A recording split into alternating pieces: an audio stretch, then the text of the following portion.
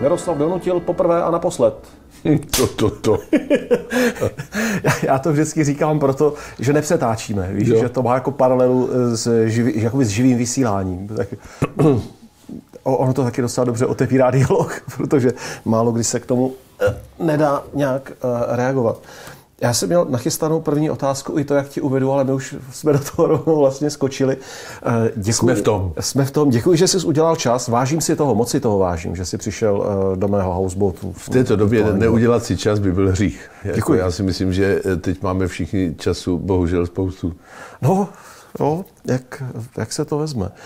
Ještě mám jednu technickou věc. Teď si uvědomu, ty neřídíš, že, že nejsi ne? řidič.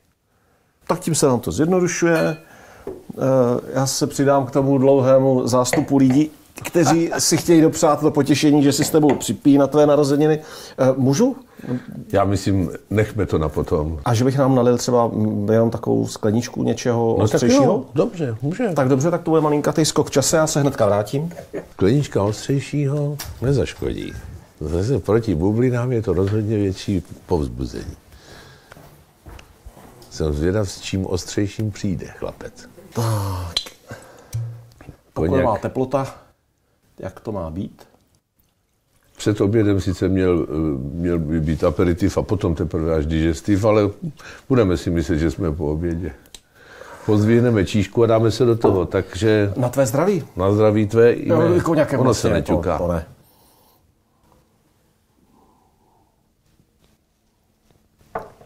To je poprvé, co před kamerou piju takhle dobrý koněk. Neboť před kamerou se vždycky pije čaj.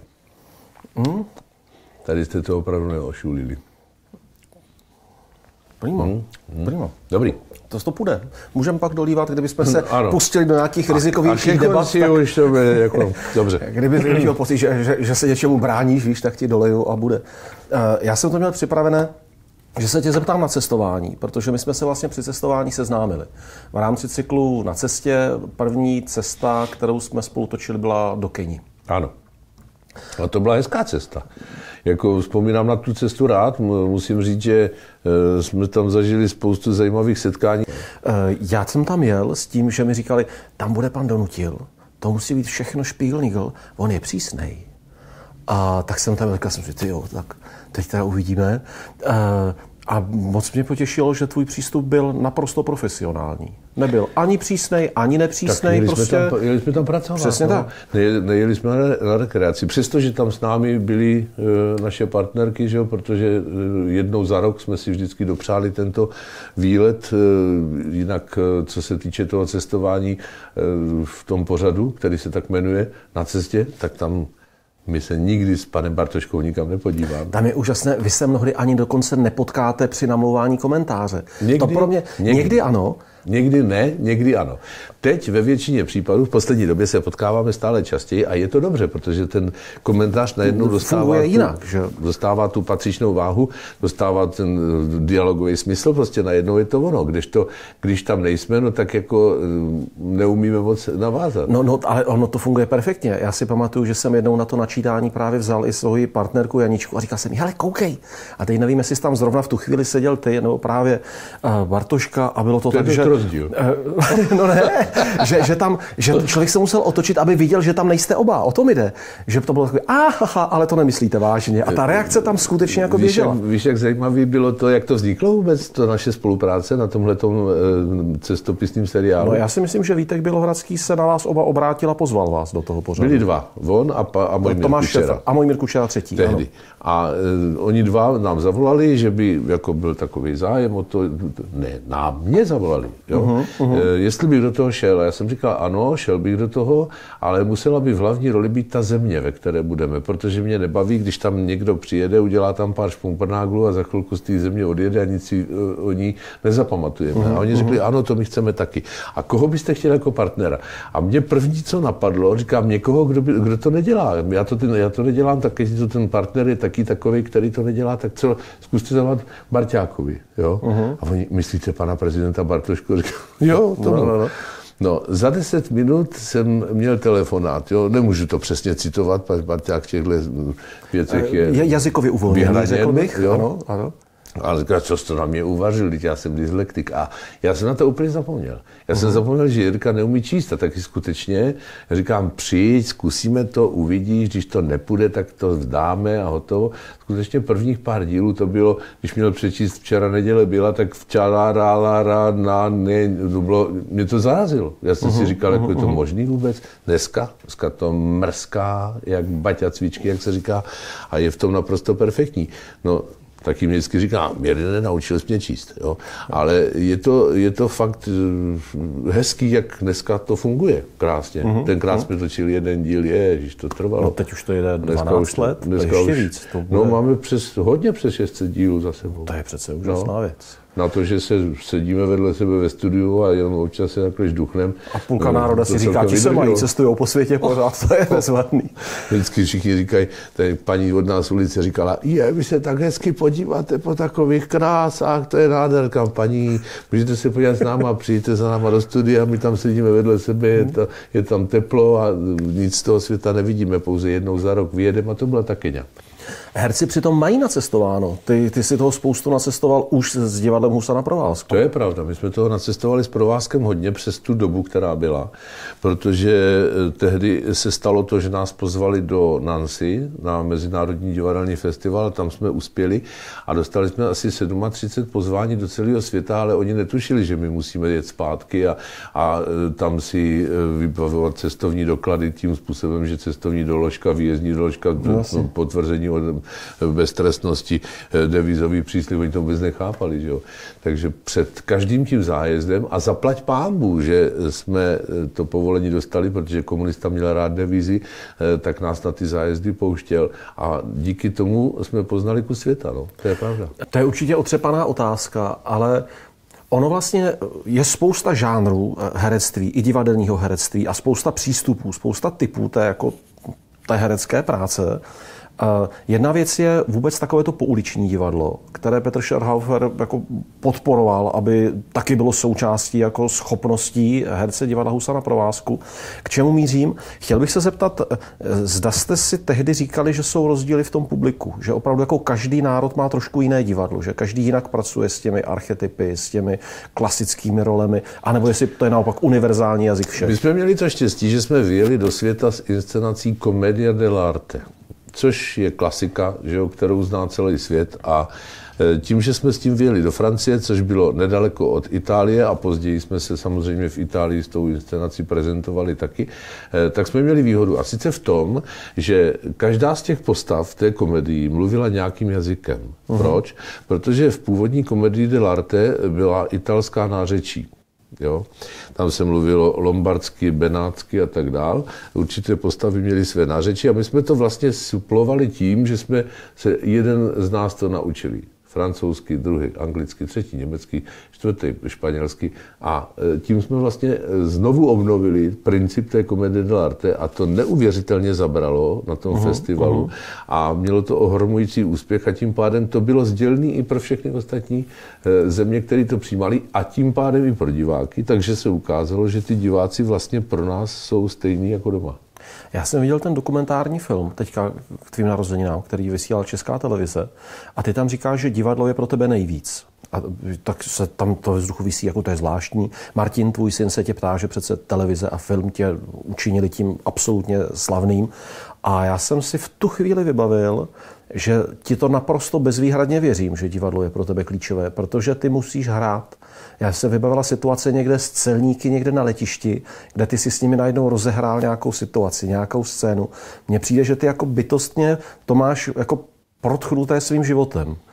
Eh, že potřebuješ s těm ty lidi dostávat, zkoušet je a Ono eh, dost často eh, se objevuje otázka, odkud čerpám témata na vyprávění těch historek. No, mm. tak to, co říkáš, jo, tam si něco z celníky, je to věc, která s tebou jde životem. A vlastně máš-li talent k vyprávění, dostane-li, dostane se ti tohoto talentu, tak pak eh, to chce jenom zpracovávat ty příhody, které v životě člověk zaregistruje, který prožije, který zažije s někým jiným a pak je odvyprávět. Mnohdy říkají někteří kritikové jo, ale on vyprávěl příběh, který není jeho. Ano, to se taky někdy stává. E, pak e, taky slyšíš třeba od Jiřího Sováka krásnou věc, e, kdy říká, pravda v historce je naprosto nepodstatná věc, důležité, aby měla pointu. Jo. Tak to všecko samozřejmě, co vstřebáváš, co vidíš, co se, s kým, a s čím se setkáváš, co zažíváš, to všechno se dá zpracovat a potom odvyprávět. Jo. Ale ty to i tvoříš, ty jako ty lidi trochu dostaneš do úzkých jo, někdy, a oni najednou musí něco někdy řešit. K tomu, a... Někdy k tomu postačíš. No. to jsem si říkal, jestli, samozřejmě jsou okřídlené tvé historky s Frantou Kosourkem, jestli jsi to od něj vlastně nezačal chytat, takové to jako testovat ty lidi kolem sebe a jsem tam někomu něco Já si poslat. myslím, že jsem chytal nejenom od Franty Kocourka, ale od svého dědečka, od svého tatínka, od tetiček, jako od lidí, eh, se kterými se potkáváš, s kamarádama, uh-huh. od všech. Jo. Je to důležité jako nasávat ten život, eh, který žiješ a nasávat ty situace. A ten Franta byl v tomhle velmi inspirativní, no, pochopitelně. No, on byl eh, hlavně v tom právě, že on ty lidi neustále ponoukal, že on jim no. vytvářel situace, do kterých se nechtěli dostat teda, a byli nuceni v nich reagovat jako dost... A bylo zajímavé ještě jednou věcí, kromě mnoha, který už jsem všechny odvyprávěl, byl zajímavý i tím, že on okamžitě identifikoval člověka, mm. po pěti minutách rozhovoru s tebou věděl, čím se zabýváš, mm. co je tvůj zájem, co děláš, co tě baví a jako s takovým se s tebou dále bavil. Mm-hmm. A když se e, po letech takový člověk s Frantou Kocourkem potkal, tak on okamžitě to e, e, tady vyhodnotil a už věděl, že se baví s výtečným motorkářem, který mm-hmm. třeba v praxi pracoval jako úředník, ale jako zabýval se motorkama. A proto na něho strašně všichni vzpomínají. Jako a každý ten člověk, který se s ním potkal, tak na něho vzpomíná jako na výtečného motorkáře, skvělého malíře, vynikajícího znalce pohybového ústrojí těla a tak dál, protože každému on poskytl tu možnost, že se baví vlastně se stejně znalým člověkem.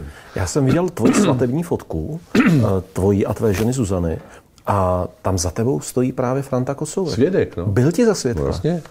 Tam, tam byl svědkem na mé svatbě. No. Tak něco nachystal, tam se něco muselo dít. No, chystalo, no, tam se chystalo to, že e, svědkyně, která svědčila e, mé ženě, byla taky mladá dívka, její kamarádka, že jo? A já jsem pořád za sebou slyšel, to je krásný ta svatbička, co? Nechceš taky děťátko do bříška? Když jsme ti svědci, to by bylo nádherné. Stane se to tady posvátným, to bude úžasné. Mladinká dívenka. No, v podstatě jako zajímala úplně jiná věc. To, to je legitimní ovšem no, v daném kontextu. Bylo to velmi legitimní, legitimně to podepsal a já, hele, když mluvím o těch situacích a nakopli jsme tu svatbu, já jsem potom šel zase za svědka Frantovi Kocmanovi, což byl jeho uh-huh. asistent, který uh-huh. mu asistoval uh-huh. při jeho vystoupení. Franta Kocman se ženil po asi 20 leté známosti eh, se svojí, se svojí přítelkyní. Já jsem ho varoval, aby to bylo velmi opatrně, když byla ta svadební noc teďka, jo, jako po těch 20 letech, tak do toho nevlítne po hlavě. A teď jsme přišli na to radnici. A to, je, to jsou věci, to jsou takzvané, tomu říkáme kocourkoviny. A on přesto, ten kocman, že je dobře zná, tak eh, najednou byl na pochybách, protože přišla ta paní, co to vedla, tu svatbu, říká, tak pánové, prosím, pojďte za mnou světkové, eh, předložte mi občanský průkaz. A říkám, ještě já nemám občanský průkaz, nebo, no ale to musíte mít. Říkám, nemám, bohužel, jako já jsem to zapomněl v Praze, jako, jo, a ta svatba byla v Brně. Jo. No ale to bez občanského průkazu. A teď ten Franta Kocman, no tak paní, tak přeci ho znáte, ne? Jako Brňák, jak Polino. Přeci, přeci víte, že to je herec donutí, ne? Tak jako sakra, tak budete vyžadovat po něm občanku. To já, pane Kocmane, pane ženichu, nezlobte se, ale já bohužel musím vyžadovat, tak to je podle zákona, pan donutil se musí, říkám, tak to je bohužel smůla, to já nemám teda opravdu. Uh-huh. No nejno tak jako odsud, ten, ten Franta se rozšil, ten tam lítal, bouchal do stěn, jak je to možné, že já jsem zapomněl, jak je to možné, že ona to tam blbá baba nechce uznat, jak je možné, že, že tam je vůbec jeho žena, z toho byl skandál. Jako. Franta Kocourek, uh-huh. teď řeknu ten zásadní rozdíl, by nevytáhl občanku, kterou já jsem měl schovanou a vytáhl jsem ji. Nikdy v životě. Dokonce by to nechal dojet, svatba by nebyla, všechno by se zrušilo, rušil by se obřad, všichni by museli odjet. To byl Franta. Já jsem ke konci po asi hodině skandálu vytáhl občanku, říkal, já jsem ji náhodou našel, on málem zabil. Jo. I hodinu si to vydržel, tak Hodinu dlouho. jsem to vydržel. Ale Franta by to vydržel až úplně do konce. Normálně bychom odjeli všichni a nebylo by nic.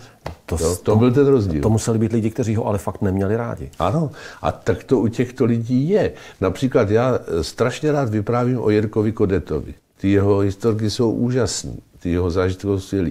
Ale bohužel najdeš spoustu lidí, který ti řeknou, no tak já nevzpomínám na to rád, protože to, co já jsem s ním zažil, jako on prostě do určitý míry, furt humor, humor a najednou prostě z toho zmizel a já jsem v tom průšvihu zůstal. Jako, uh-huh, uh-huh, Takže jako Franta Kocourek tohle to uměl, jo. on šel až tak daleko, že dokázal rozdělit dvojici dvou lidí, kteří spolu žili, tím, že jim prozradil, eh, jaký mají své druhé partnery a eh, že si to vlastně ani jeden z nich nezasloužil slouží, jak spolu žijí, jako, a za pár let jsme tím místem projížděli, on mě tam přived znovu za těma, těma dvěma lidma, který už nežili spolu, ale s těma svýma druhýma partnerama a děkovali mu a málem mu ruce líbali za to, jak je uh-huh. rozdělil. Jo. Ale to teda mu nic nebylo svaté. To ne, teda... opravdu ne. Jako eh, to všecko, co on napáchal, jako mnohdy, víš co, i mě to samozřejmě mnohdy vytočilo. Já jsem vyprávěl spíše historky, kdy se vysmál někomu jinému, ale když jsem já třeba přišel do uh, pokoje hotelového ve Francii, a tehdy nebylo nic k jídlu, my jsme sebou vozili, jsme žádný peníze neměli, tak štangle salámu, jako, mm. aby jsme tam měli co jíst. No. Přijdu tam a on s tím slavným režisérem Scherhauferem na mé posteli mastný hubí a Scherhaufer řekl, tak já už pomalu půjdu a zmizel a štangla pryč. Jo. Mm. A on mě na to řekl jenom, jo chlapči, roli si musíš hlídat. jo? Třeba. Nebo sedíme v hospodě a on, Miro, ty jsi takový luxusní herec, prosím ti pěkně, já teďka mám takovou nabídku, malá role ve filmu, víš, on docela točil ve filmu, uh-huh, jako, uh-huh, jo, dělal uh-huh. takový zápasnický a boxerský role. A říkal, mám to hrát ožralca, víš? A já vůbec nevím, jak na to. Ty jsi takový luxusní herec, nemohl bys mě to nějak předvést? A já v té hospodě, jak idiot, přestože jsem ho znal. No tak mu no, no, začal předvádět najednou bav, bav, jedna ruka, druhá ruka mě vedli ven, jo, a já říkám, prosím vás, to bylo blbost, já mu jenom předvádět, jo, to známe, to nám tady říkají všichni. A on ještě se přidal, jen ho vyveďte, ona tady otravuje, jo, furt je tady ožrali, nám padá na stůl. To je, já ti vlastně chci teď poděkovat za ty uh, historky, všechny, co byly vydané uh, prodané a úspěšné, a jsou notoricky známé. Já jsem díky tomu zbalil jedno krásné děvče v Ostravě. No prosím, tak na to si připomínám. No, no, no, krásná vzpomínka. Já jsem tam moderoval nějakou akci, nádherná černovlasá dívka. Nebylo to chodila. náhodou modří už ne, ne, ne, to právě, to už byla jiná etapa. Já jsem potřeboval se od své Eh, životní etapy eh, uvaděče dětských soutěží dostat jinam.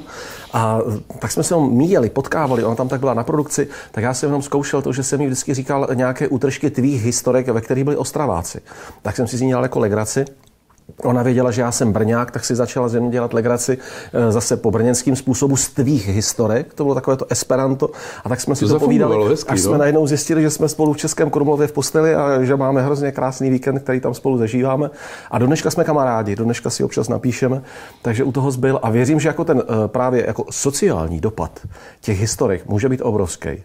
Představuju si lidi, kteří tě imitují, kteří ty historky vypráví prostě na sešlostech. Ty se s tím musíš potkávat do omrzení. Já to se je... s tím potkávám do té míry, že třeba někdo na představení přijde a třeba maminka přivede kluka a řekne, no tak zahraj pana Donutila. A on mi to, on mi to předvádí. Nebo přijde a řekne, odříkej doktora Martina. Jo? Což je teda, to je neskutečný. Já jsem vůbec netušil, proč takového jako nesympatického člověka, jakým je doktor Martin v tom seriálu, eh, kterýho eh, teda jsem okamžitě, když mi to vrátil Schleier, producent přinesl, řekl, že musím hrát, protože tohle je výborný. Jako jak to můžou milovat děti, jsem říkal. Uh-huh. Jak to, že se na to vůbec dívají, jo? Jak to, že to znají. Furt jsem to nechápal, ale děti mi to odříkávali na paměť a my vás milujeme a tak. Kam, co to je? Až mi to moje žena vysvětlila. Říká, hele, je to jednoduchý, děti jsou upřímní. Jo. E, my tu upřímnost e, výchovou z nich pomalu, ale jistě dostáváme. Přijde na návštěvu paní, dítě řekne, je, ta paní je tlustá. A co uděláme my? Není tlustá, je pěkná, okamžitě se omluv. Ne, je tlustá, není tlustá, uh-huh. je pěkná. Řekni, že je pěkná, je pěkná a jde pryč. To je hruza. Uh-huh. A toto ten doktor Martin v sobě nemá. Tam přijde paní do ordinace a řekne, chcete říct, že jsem tlustá? A on řekne, ano, jste příšerně tlustá.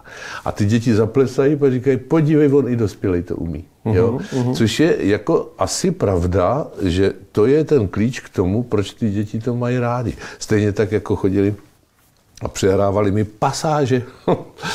Děti 5, 7, 9, 15, to je jedno, přehrávali mi pasáže s dvou pánů třeba. Uh-huh. Jako, mhm. tak už jsem to pochopil, že se jim to třeba líbilo. Jo? Ale jako, je, je, to krásný v jedné věci, víš, kterou mi ozřejmila Jiřina Bordalová. Říká, ty máš člověče ty lidi jako já. Od těch pěti do těch devadesáti. A já jsem říkal, no jestli to tak je, tak je to krásný. Je, já to vím. No. Tak je to tak uh, asi, že opravdu jako herec by měl mít tohle spektrum. Měl by mít prostě tu možnost jako vyjádřit se mnoha způsoby, uh, hrát rozličné role a vyprávět lidem příběhy. Všechno to se snažím. No. Tak jako jo, jo. někdy dojde i k tomu, že to má tuhle krásnou pointu, že prostě dívenka se s tebou ocitne v Českém Krumlově. No. Eh, já jsem přemýšlel nad tím, proč máš tolik rolí tak jako nepříjemných lidí a pak jsem si řekl, oni se asi líp hrajou. No jasně, no tak jako záporná role je vždycky samozřejmě eh, pro herce vzrušivější, je snadně, ne snadněji, je, je lépe uchopitelná a je možno na ní prostě zahrát ohromnou barvitost. Jako kladěz, to je prostě mm-hmm. pořád na Sladký jedno. oči. A... Ale e, jako u toho, u toho záporáka je to vždycky samozřejmě daleko vzrušivější. A co je vůbec nejtěžší, je komická role. Mm-hmm. Komedie mm-hmm. jako taková. Prostě udělat srandu, obyčejnou srandu, je nesmírná dřina. A potvrdí ti to každý, kdo se tím léta a léta zabývá a který prostě zahrál spoustu, třeba pan Suchý, ten by ti o tom mohl vyprávět celý romány. Ale to tak je prostě, jako říkalo se kdysi, rozplakat dokáže i vrátnej na damu. Uhum, ale uhum. rozesmát to umí málo kdo. Takže jako toho si nejvíc považuju, když lidi se v hledišti řežou smíchy. Uhum. Pak je to uh, opravdu odměna, velká odměna. Ještě k tomu vlastně uh, způsob pojetí herectví. Uh, z divadla Husa na provázku, kontakt s publikem, automaticky. Publikum k nám patří, zajímají mě ti lidi, sleduju je, dívám se na ně úplný protipol Stanislavský a takové to akademické herectví divák neexistuje. Existuje jen pódium, kde se všechno prostě... A prožitek. Tak. A vžítí se do role. Včetně, včetně legrace, včetně dramatu. A... Jak chodili kdysi tady herci z nynějšího Švandova divadla, tehdejšího realistického divadla Zdenka Nejedlého do Krčského lesa se v noci bát, aby nasáli ten pocit strachu no. a pak to mohli interpretovat Pane. na jevišti. To byla panečku, jako to byla záležitost. No. A teď do Národního divadla přijde takovýhle frajírek z Brna a začne tam hmm. komunikovat s publikem. To jako nebylo jednoduchý, no, protože příchod do Národního divadla pochopitelně eh, byl pro mnohé tehdejší členy Národního divadla takovým eh, podivným zjištěním, jo, co to sem teď jde. Jo? Uh-huh. Dokonce se říkalo sklepní herci, že jo? ovládli Národní divadlo a tak dál. No, e, já jsem byl vybaven jistou sebejistotou, jistým e, balíč, balíčkem umění, kterým nás vybavili tři naši geniální režiséři z provázku a řekli, eh, nebát se a když už tam jdeš, tak ukaž. Jo.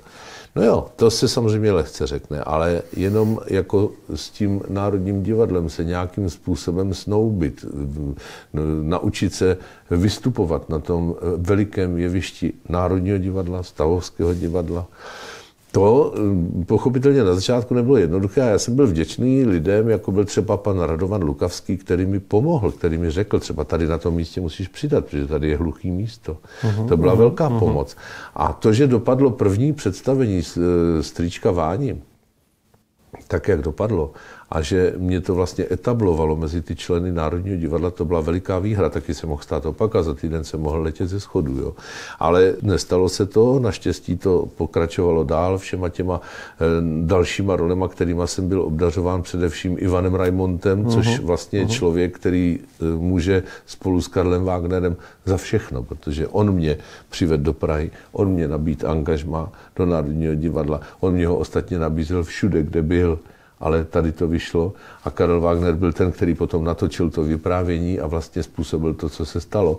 Takže vlastně to jsou dva klíčoví lidé mého života. A ten Ivan mi eh, dával krásné role, krásné úkoly a tím pádem se to moje postavení v tom Národním divadle začalo posilovat a já jsem začal být zásoben jednou krásnější roli než druhou. Samozřejmě občas se vyskytly i nějaký takový, který, na který eh, nemusím nutně vzpomínat, ale bylo, bylo to velmi krásné, bouřlivé období a mm, musím říct, že si vážím toho, že jsem mohl být 25 let v Národním divadle. To musí být nádherná kapitola v mnoha ohledech. Je to překrásná kapitola, přestože jsem se rozhodl sám dobrovolně z Národního divadla odejít, což se běžně nedělá. Uh-huh, Vždycky se říkalo, že z Národního divadla se má odejít pouze nohama napřed, ale já si myslím, že eh, člověk v momentě, kdy pocítí nějakou touhu po změně, a já ji pocítil, tak jako jsem ji pocítil, když jsem odcházel z provázku, tak teď po té 20 leté, více než 20 leté éře v Národním divadle,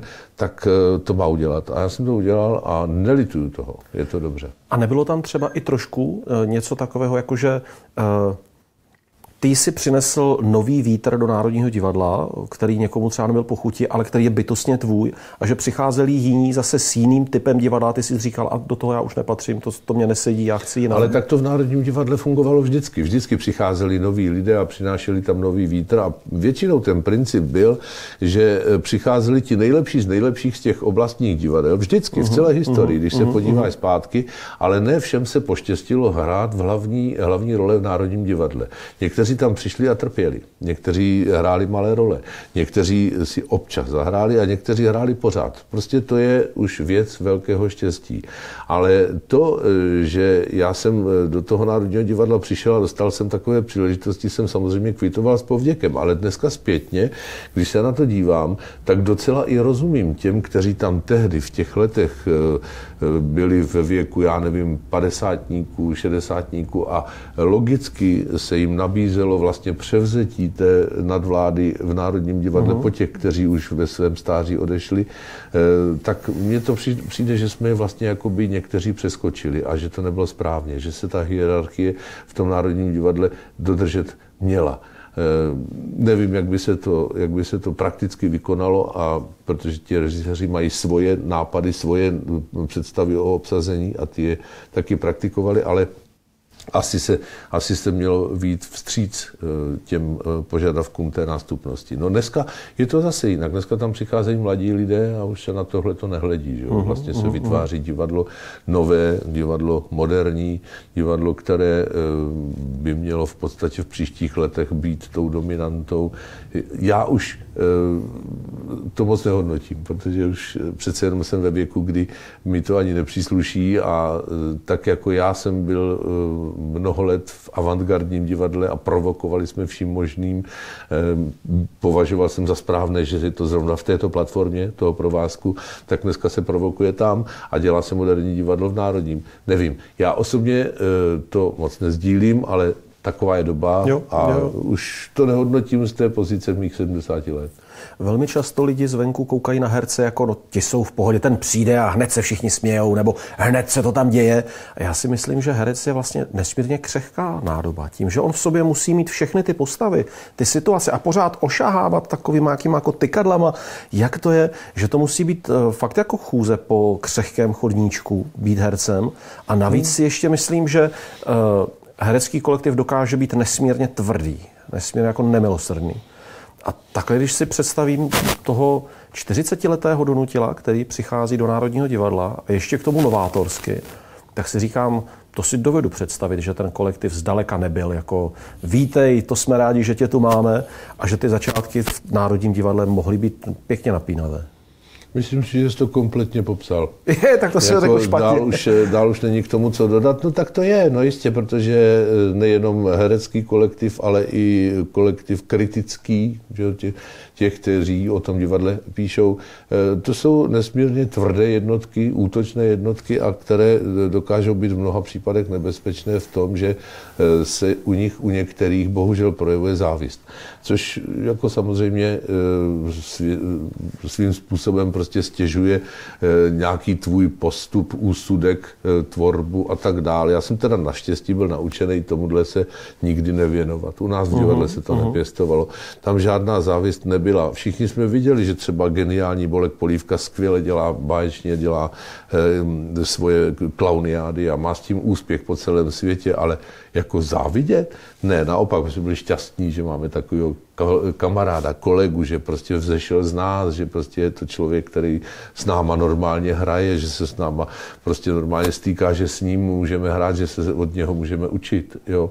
Viděli jsme, že Jirka Pecha je skvělý herec, že prostě dokáže skvělým způsobem vytvářet charakterní role. Prostě to všecko pro nás bylo naopak motivační. Ale pro někoho, bohužel, je to uh, důvod k závisti. A já jsem to nikdy nepochopil. Já jsem uh-huh, nikdy uh-huh. nepochopil, jak můžu závidět někomu, kdo je dobrý.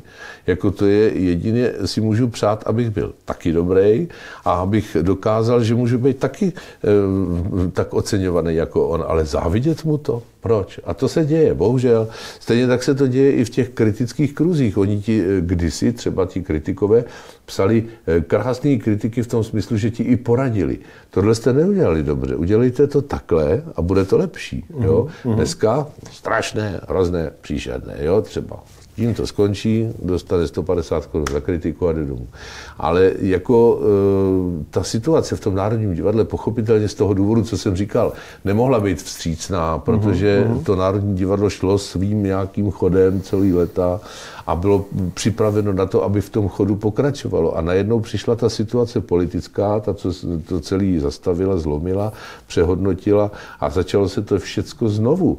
A tím pádem prostě i ten náš příchod bylo něco, co, s čím se nepočítalo, co nezapadalo do té koncepce, co nebylo v řádu toho Národního divadla.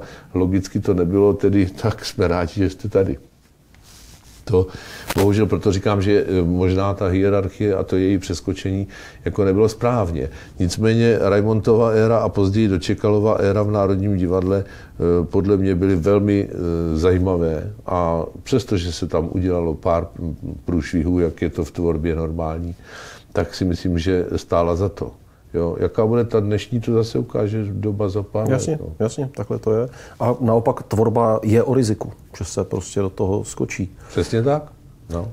A já to bylo, musím říct teda, když mluvíš o riziku, to bylo velký riziko jít do Národního divadla si představ, že jsi 20 roků v divadle, který bortí všecko to, co se dělá v Národním divadle, ale s tím, že náš režisér Scherhofer vždycky říkal, já bych chtěl, aby Národní divadlo, on tak zvláštně hezky slovensko-česky mluvil, aby bylo dobrý. A já jsem říkal, a proč? Aby jsme se měli vůči čemu vymezovat, rozumíš? Protože já se chci vymezovat jen vůči tomu nejlepšímu. Jo? Uh-huh, uh-huh. Což mělo svoji krásnou logiku. A já eh, musím říct, že teda eh, z toho divadla, který jsem dělal 20 roků, v tom divadle Husa na provázku, který prostě proskoumávalo úplně neuvěřitelné věci na tehdejší dobu, který šlo eh, neprošlapanýma cestičkama, jsem najednou přišel do toho nejkamennějšího divadla z kamenných. A bylo to v podstatě velká odvaha a velký riziko a velký risk a velký, velký dobrodružství který, říkám, jak jsem řekl před chvilkou, mohlo skončit velmi rychle. No. Bál ses? No, eh, já ani nevím, jako jestli se to dá nazvat strachem, že jsem se bál. Říkám, oni nás učili nebát se ničeho. Uh-huh, uh-huh, My jsme uh-huh. projeli kus světa a tam byli renomovaný americký soubory Bread and Puppet, jo, a já uh-huh. nevím, prostě uh, Living Theater a, a všechno. A my jsme byli nuceni vedle nich uh, prostě uh, učinkovat, hrát, vystupovat a strhnout na sebe pozornost. Takže jako, když jsme se nebáli tohoto, jo, tak eh, a hráli jsme v různých prostorech. Hráli jsme eh, v továrních halách, hráli jsme v parcích, hráli jsme ve velkých divadlech typu Národního divadla, v Sofii třeba, hráli jsme všude. Takže jako z tohoto úhlu pohledu ten důvod ke strachu nebyl. Tam byl jiný důvod. A sice ten, že si vstoupil na jeviště po kterém kráčeli všichni páni Marvanové, mm. Pivcové, Hégrové, Štěpánkové a tak dál a tak dál. A teď jenom to, že si vešel do jídelny Národního divadla a tam byla klimatizace ještě z dob, kdy oni tam byli a tam pořád ještě někde byl ten jejich dech, jo, tak to jako bylo najednou zavazující a tam trošičku ten eh, možná strach z toho uspět, podaří se to, nepodaří se to, přijmou mě, nepřijmou. Já s oblibou říkám jednu takovou historku, kratinkou, která se mi stala při tom eh, Stričkovi Váňovi, kdy prostě to se velmi povedlo, ta inscenace. Hmm. Ivan Raimond byl skvěle připravený, my jsme to s Lojzou Švehlíkem, s panem Macháčkem, s panem Adamírou. Jako to, to bylo krásné, ale přesto já jsem byl na jevišti a v druhé řadě dvě baby, víš, takový, a jedna furt dělala. Hmm. Já jsem si říkal, no co to, to, to, to, to si nemůžeš nevšimnout, jo. A pak, až jsem byl úplně na hraně, na, takhle, na, na, na, na té rampě vpředu, tak slyším, jak ta baba se tak naklonila k té druhé a říká, to zas nakoupili, co? A evidentně to směřovalo ke mně, protože to byla zjevně nějaká zasloužilá návštěvnice Národního divadla a teď jí tam hrál nějaký neznámý ochcápek z Brna jako, tak jsem se sklonil k botě, kterou jsem si zavazoval, jakoby, a řekl jsem, kuž, babo. A šel jsem pryč. Nedalo mi to jinak, člověče. Aha, tak to nějak jako v země. A ona se zastavila. Jo? Uh-huh. Zírala. Pak eh, venku na mě čekali a říkali, že jsem mi zastavil, že ona to tak má, to Parkinsona. No, no ale já teda, eh, jako víš co, to bylo to, to, to říkám proto, že takhle se na nás musela dívat jako nadpoloviční většina toho diváctva. Uh-huh, na ty noví, uh-huh, co jsme tam uh-huh, přišli. Uh-huh. Nějaký Pavelka, Salcmanová, jo, jako novotný, já nevím. Nám přišli takovýhle jako uh, lidi do toho Národního divadla a oni všichni tak na nás koukali, tak se ukažte a řeknu, jestli to stojí za to, budeme sem ještě chodit, nebudem, no. Tak Mám pocit, že teď je to taky tak, že teď hmm, taky že tak pořád, asi, vždycky no. si, každá ta generace musí vybojovat prostě to svoje místo, to své no, právo no. na tu pozornost a na to pojmenovat tu epochu po nich, aby to bylo. Uh, Sluha dvou pánů, 600 repríz, to je historický mezník nebo jeden z pilířů prostě na jednou příběhu Národního divadla. Byl jsem se na tebe samozřejmě podívat. Uh, děkuju, že jsem tam mohl přijít, byl to zážitek. A já jsem na to koukal a říkal jsem si, ty mně to připadá, hmm. jako když kapely udělají best of, že já koukám na určité best of Miroslava Donutila. Že jsi řekl, a teď můžu, tady si šáhnu do tohohle rejstříku a tady jsem. A že jsi opravdu tu paletu tam nechal celou rozehrát. Zdálo se mi to, nebo k tomu takhle přistupoval, že jsi řekl, jo, já to tam chci poslat všechno? Eh, to asi tímhle způsobem jsem neuvažoval, ale uvažoval jsem eh, ve smyslu toho naplnění eh, vlastně bufonády, komedie dell'arte, všech těch lácí, které ti herci komedie dell'arte dobře znali a které používali, protože oni přesně to, co říkáš, oni v podstatě k těm divákům vysílali. Oni prostě znali určité speci, specifické láci, je takový jako, jak, bych to dneska, jak bys to dneska nazvalo, shot nebo nějaký, uh-huh. eh, nějaký výstup, jo, který měl svoje pravidla, zákonitosti. A eh, z těch bylo seřazený celý to vystoupení v komedii dell'arte. Eh, tak jako tam se to přímo nabízelo. Jediný, o čem jsem poch, ne pochyboval, ale o čem jsem zvažoval, jestli by to v tom Národním divadle mělo či nemělo být, jestli by to mělo existovat nebo nemělo existovat, bylo to spojení s tím publikem. A tím, že jsem si zvolil vlastně za partnera jakéhosi divadelního boha uh-huh. a že se ho začal oslovovat, pane bože, mám to udělat, mám to udělat, co myslíš? A podíval jsem se do toho publika a teď už při prvních reprizách se vlastně ozvalo, ano, říkám, jo, to funguje, to je skvělý. Takže jsem začal vybízet eh, to diváctvo prostřednictvím, tak jak v parlamentu, prostřednictvím pana předsedajícího, bych rád oslovil pana, pana poslance, že je vůl. Jo? Tak jako tam to začalo fungovat eh, tím způsobem, že vlastně prostřednictvím toho divadelního boha jsem eh, se vždycky podíval na to publikum a to publikum za toho boha odpovědělo a dalo mě vlastně pokyn, co a jak mám dělat dál. Což bylo skvělý. A díky tomu se každý představení lišilo od toho, co eh, ho následovalo. Takže mě to bavilo neskonale a mm, prostě to, že jsem tam najednou vletěl s těma znalostma z provázku a točil jsem talířem na tyčce a nebo žongloval s pomeranči a ne, prostě to všechno bylo pro ty lidi tak nepochopitelný, že byly i schůze kolem toho, že to se nesmí a, a že, že prostě takhle se na Národním divadle nesmí vystupovat a že lidé odchází z hnusení. To všechno se tam ozývalo. Ale to je všechno správně. Toto patří no. právě k tomu novátorství. To nech dělá i ta současná přicházející generace. Jasně. A ať se prostě popasují s tím žánrem celým. Prostě. Jasně. Jako já si myslím, že to eh, hodně to představení eh, přispělo eh, k pochopení toho, co tam chceme dokázat ukázat, uh-huh. že to je ta nová, nová nastupující generace. Byť toto představení není výsostně uměleckým zážitkem toho nejvyššího typu. Jako jo, prostě to není, jako že eh, to je bufonáda, to je prostě, to je klauniáda, to je něco, co jako všichni to tak jako trochu i považovali za takovou, jak se říká, levou zadní. Jo? No jo, jenže on to... Jo? Tohle to tak jako i Raimond, který jako udělal spoustu inscenací, tak vždycky říkal, když se ho ptali, no a co ten váš sluha dvou pánů? No tak já jsem udělal lepší inscenace, jo? to jako no, sluha dvou pánů, no, tak Mirek to tam jako tohle. I on to nepovažoval uh-huh. za nějaký svoje vyvrcholení uměleckého života, Přičemž se divím, protože jako e, nikdo si ho nebude pamatovat víc z něčeho jiného, kromě Steigerwaldových her e, nebo Čechovových třech sester e, v Ústí nad Labem, než ze službou pánu. Jo? Hmm. Ale on to vždycky tak jako hodil na vedlejší kolej, jakože to není až tak úplně. Ano, to nebyla žádná Ibsenova Nora nebo Eh, smrt obchodního cestujícího. Nebo smrt obchodního cestujícího, kterou mám tu čest hrát teď. Jo. Ale jako to je eh, podle mě, eh, nevím, já to sám těžko hodnotit můžu, ale... Tak to je takový ten právě protipol těch tragických a veselých té komediálnosti a, a té tíhy, že člověk má pocit velmi často, že když u toho právě brečí, když to je jako těžký, takže to je ta veliký umění. A když se u toho řechtám, takže to je, on tam ten donutil jenom tak vyběhne, on, on tam tak jako chvilku hopsá, to je celý a my se u toho řechtáme.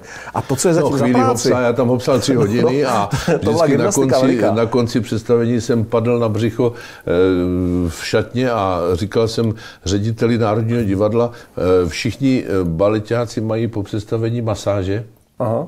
protože jsou unavení a vy si myslíte, že já ne? Já bych to taky potřeboval, pošlete mi maséra. Hmm? Ne, to může jenom balet. No. Tak jsou tam takový určitý zákonitosti v tom Národním divadle, který jako prostě fungují mm, tak jak, tak, jak mají a ne podle potřeb. No. Ty jsi tam vyfasoval paní, která tě oblékala, je to pravda? V Národním divadle? No. no tak tam jsou oblékačky, samozřejmě, tam jsou kostymérky. No to kostymérka je jedna věc, ale druhá no. věc, že jako fakt eh, herec stojí a je paní, která klečí a drží ho nohavice, ne. aby se herec oblékl to, do kalhot. To tak pozor. Já když jsem přišel do Národního divadla a pr, moje první inscenace, Stříček Váňa, ano, ano. a byl tam pan Pánek. Uh-huh. Pan Pánek, a to asi si zaregistroval tohle vyprávění, pan Pánek byl z té staré garderobierské školy, uh-huh takže e, přišel ke mně, zaklekl, vzal kalhoty, udělal ve vzduchu takový pohyb, nějaký takový a z toho se staly dva takové otvory a látka a to mi nasouval na ty nohy. A já to jsem říkal, takový divný pocit, ne? Že? No ne, no, já jsem říkal, pane pánku, ale to snad ne, to byl 75 let tehdy, mm-hmm. nebo tak nějak. Říkám, to já si udělám sám, mě bylo 40. Jo. A on to odložil, zasmušil se a odešel. A přiběhla Janička, jeho kolegyně, a říká, co jsi mu udělal? Já říkám, já jsem nic neudělal, jsem mu říkal, že si to obleču sám, běž se tam omluvit, on tam pláče. Uh-huh. Já říkám, a proč pláče? Já jsem, běž se omluvit. Tak jsem tam šel, říkám, pane pánku, já se omlouvám, já nevím, co jsem způsobil. Já jsem jenom řekl, a on se otočil a řekl tu neuvěřitelnou větu. Já jsem oblékal mistra Štěpánka, mistra Pivce, mistra Kohouta, mistra Hegera a vám nejsem to dobrý? Tak tam jsem pochopil, že tehdy to tam fungovalo všechno úplně jinak.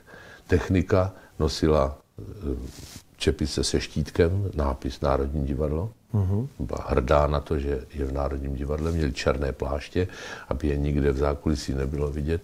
Garderobiéři oblékali garderoby nejenom dámám, ale i pánům. Jo? Prostě ta doba se pochopitelně mění. Že? A teď tam přijdeme my, kteří jsme byli zvyklí, v, já třeba v provázku z kupy hader si vybrat kostým, uh-huh. jsme na žádný neměli a oblíct ho na sebe a předvést se Pospíšilovi, Šerhofrovi nebo Tálské, jestli je to dobrý. A oni řekli, dobrý, tohle ne, tam to vyměň, dej si tohle, tam to si tam při... Tak jako najednou prostě, aniž by si chtěl, tak urazíš pana pánka, který tam takhle prostě oblékal eh, ty největší hvězdy a najednou mu někdo řekne, že, že to ne. A to, když to takhle od něj zazní, tak to člověk se fakt jako zarazí, že jo? To je... Asi bych teda měl, nebo? Pochopitelně eh, přehodnotíš to všechno. Uh-huh. Jo? A když tedy pan Pánek, ale on už potom nepřišel. Uh-huh. Uh-huh. Což, eh, jako říkal, já už vím, že vy raději sám, tak já už ne. Ne, ne že by se urazil, ale máte jiný přístup, já ho respektuji. A taky mu to asi udělalo dobře, protože přece jenom už byl starý a na ty kolena už se mu asi nechtěl. Jo, jo. Ale fakt je, že už eh, jako přijal tu moji ten můj poznatek, tu moji výtku k tomu, co, aniž bych si uvědomoval, že to výtkou je. No tak to se tam dělo, tohleto, no, málo platný, no. Jako, eh, my jsme pochopitelně nemohli vidět všechno, co v tom Národním divadle je a nebo není zaužívané. Nádherná inscenace Amadeus, divadlo Husa na provázku a tvůj návrat do divadla Husa na provázku, navíc se synem Martinem. Eh, ty Salieri, on Amadeus, nádherné představení, oba dva jste tam výborní. Vracet se zpět do stejné řeky, ne. Vracet se to zaspomínat. Jsem vždycky, to jsem vždycky říkal. Eh, když mě eh, Vláďa Morávek lákal do provázku, do Karamazovců, já jsem říkal, já jsem hrál starého Karamazova, když ty jsi ještě nebyl na světě, ale už tam znovu to hrát nepůjdu. Máš tam dost herců, dělej si to s nima. Ale protože mám Vlaďu Morávka rád a protože vím, že on de facto kvůli mě začal dělat divadlo, tak jsem se mu snažil vždycky být eh, v ústrety. A když jsem ho potkal e, zasmušilého na národní třídě a ptal jsem se ho, co se mu stalo a on mi řekl, že Eh, nechtějí přijmout jeho Amadea v divadle na Vinohradech, že už to bylo všechno připravené, ale uh-huh, zkoušet se mhm. to nebude, tak jsem mu řekl, tak to udělej na, u vás. Teď o co jde? Potenciál tam na to je, udělej to na provázku. No, máš asi pravdu, jako vždy. No a rozloučili jsme se. A asi za dva měsíce na to, já už to přesně časově zařadit nedovedu, eh, mě zavolal, přišel a řekl, že teda mě poslechl, že to tam udělá, ale měl by jedno velké přání. A já jsem říkal, no, tak říkej, no, že bys mě zahrál Salieriho. Říkám, je, Láďo, já mám spoustu práce, mám to teďka na rok všechno dopředu, to, to nevím, no, tak za rok, mož, hm, za rok. Říkám, mm-hmm. tak jo, tak já to vezmu. Sice jsem nechtěl, ale eh, jako vracet se do, na provázek, ale dobře. A mám ještě jedno takové pro tebe překvapení. Mladýho Amadea bude hrát tvůj syn, který už tam tou dobu byl v uh-huh. Tak jsem říkal, no tak v tom případě už to teda beru definitivně, protože to mě zajímá. Ale tady nastal ten strach. Uh-huh.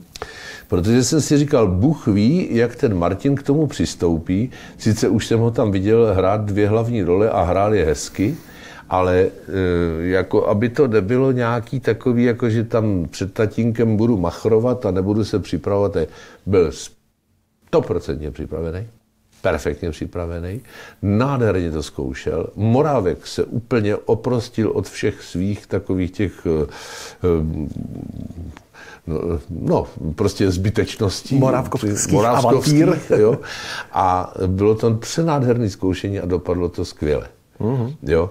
Čili e, za tuto nabídku, za tuto práci jsem vděčný nejenom tomu Vladimírovi, ale taky i tomu Martinovi za to, že tam vůbec jako do toho takhle krásně vstoupil. Taky byl nominován za to na talent roku. Bylo to opravdu překrásné zkoušení a skvěle to dopadlo. Stejně tak dopadlo potom výborně i zajímavě e, zkoušení a premiéra Krále Ubu, kterou, což bylo představení, které bylo velmi potřebné v té době, neboť to bylo o Blbovi, který může velet státu A jako myslím si, že je škoda. Že... Hraje se to ještě? Už ne. Škoda. E, Hodilo by se to? No právě. E, nehraje se to proto, že nějak jako někteří e, diváci v tom Brně přece jenom úplně nepochopili to, proč se to hraje a jak se to e, prezentuje, že to bylo už trošku morávsko, morávkovsky složitější, uh-huh, že uh-huh. už tam e, si neodpustil určité jako své jako divadelní bonusy. A e, tak to stáli, protože to nebylo až tak zase úplně pro ně lákavé a navštěvované, takže mm, se to stáhlo. No, e, nicméně moje zkušenosti s návratem do provázku byly krásné a musím říct, že v obou případech jsem si mm, zahrál krásně a pevně doufám, že to Amadea, kterého máme na repertoáru na provázku pořád, si ještě zahrajeme a že to bude pokračovat. Ty se mě krásně vrátil, děkuju, protože já jsem vlastně mířil k tomu, jak na tebe najednou na tom provázku koukali. Ten pan Veliký donutil z té Prahy, teď se nám tady bude, jaký to bude, bude teda si na něco hrát, nebo my se máme nějak stylizovat? Nebo no jo, no, dokonce jsem zaslechl i e, takový, takový jako jeden, dva herci, proč on sem jde? Jo? Mm-hmm. Co to mm-hmm. jako má znamenat, jako tady mezi nás, jo? A, to. a e, pak já, já jsem udělal jednu takovou třiž věc, jo? E, to, Eh, bylo výsostné právo, eh, nebo respektive právo. Oni, to, oni, oni prostě tak se chovali jako některých skvělých herců v Národním divadle, kteří už na první čtené zkoušce znali text jo, uh-huh. a byli připraveni. Na tom textu už nic nezměnili. Tak, jak to přečetli na první zkoušce, vys, eh, třeba pan Macháček, tak, jak to přečetl na první čtené, tak to hrál. Uh-huh což bylo teda velmi pro mě. On tom dopředu měl vel, velmi pečlivě všechno prostudovaný, promyšlený, hezký, eh, vytvořený, vyspecifikovaný, odůvodněný. A už ho to neuhnul. Já ne, že bych byl přítelem téhleté metody, ale e, říkal jsem si, když tam mám jít nějakým příkladem a mám tomu Morávkovi nějak posloužit a mám nějakým způsobem být v ústretí sobě i svému synovi, tak musím být opravdu příkladem v tom, že to budu umět. Uh-huh, Takže uh-huh. jsem přišel na první zkoušku a už jsem uměl text. Jo. A teď oni všichni jako zůstali zírat, protože tohle to jako pan táta z Práglu jako přijel a už uh-huh. umí text, jako co to je. Jo. A tak, jak oni byli zvyklí, tak trošku jako rozvolněněji k tomu přistupovat. A tak jako, že až tak někdy v polovině generálek, to najednou to všichni uměli. My jsme mohli mít za pět dní Petře premiéru. Jo. To je úžasný. No, protože tam všichni všechno uměli.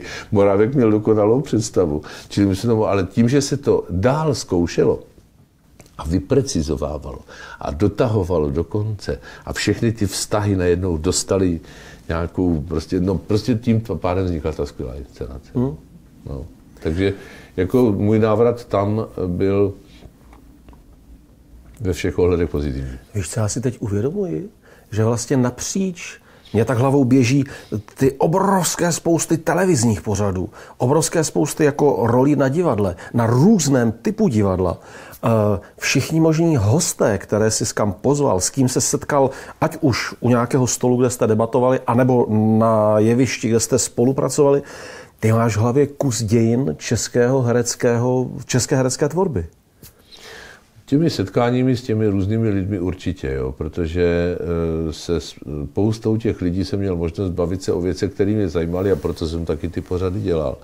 Ale jak sám říkáš, ty jsi to na mě vychrlil, kolik toho bylo, tak jednou, když jsme eh, točili právě takový pořad s Jiřinou Jiráskovou, tak eh, nebo to bylo, to bylo při filmu Fanny, jo, a ona mi, ona mi říká, vy jste mimozemšťan. A já říkám, jako proč? Já jsem se lekl, co, co jsem to, jako, protože to, co eh, vy jste udělal do této doby, jsem já za celý svůj život nestihla a už ani nikdy nestihnu. Ale říkám, protože jste dáma, to nejde. Jo?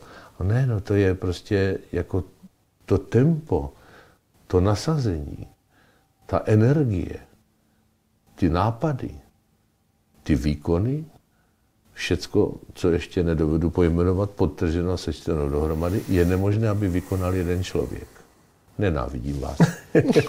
to je nádherná poklona. Ona byla, nádherná ona byla poklona. skvělá v tom, jak to dovedla vyjádřit. Ale jako fakt je, že já jsem v určitém časovém rozmezí dokázal stihnout spoustu věcí, jo. Jako, což teda, jako jak jsi to tak vyjmenoval, tak se mě to tak jako vybavilo, jo. Prostě, že to byly vlastně eh, pořady tohoto typu, že to byly eh, televizní filmy, eh, filmy eh, jako takové, eh, že, že to byly prostě eh, natáčení CDček, eh, besedy, vystoupení, představení na různých jevištích a tak. Bylo to skutečně požehnaně. A vždycky jsem si říkal, musíš zvolnit. Uh-huh. Uh-huh. Už je na čase. Uh-huh. Ten věk to sebou nese. A moje žena mě vždycky říkala, ano, a až zvolníš, tak co budeš dělat? Já říkám, no nic, no tak půjdu na golf, výborně, tak máš jeden, jeden den pokrytý. Říkám, pak půjdu na ryby, výborně, máš pokrytý dva dny. Do lesa zajdu tři dny. No. A a říká, no, a čtyři dní budeš prudit. Jo? a v podstatě mě dostala vždycky jako na lopatky, jo? protože tak to je, no, jako dokud člověk má v sobě sílu, energii, dokud dokáže eh, se potkávat s mladými a stačit jim, vys ten provázek třeba, jo? nebo teď ABC, tak eh, jako je všecko dobře a měl by to dělat, dokud, eh, dokud to jde. Protože pak přijdou ty doby, kdy to nejde. A já pevně věřím, že jednou přijde eh, ten čas, kdy poznám, to je to důležité, kdy poznám, že už to nejde. A kdy v ten moment okamžitě od toho odejdu. Protože nemyslím si, že je vtipné, aby herec chodil otravovat diváka. Eh, tím, že si nepamatuje text, že už nevnímá dobu, že už není schopen nějakým způsobem prostě uvažovat o tom, co v tom textu je. Mám pocit, že to je, to je na každém z nás, aby to rozpoznal včas. Já pevně věřím, že to rozpoznám. A tím bych skončil.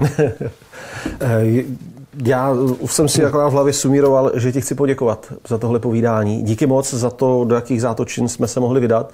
A přeji ti krásných dalších 70 let. Oh, oh, oh, 70 let to ne, ale připít si na dalších pár zdravých let bude určitě prospěšné.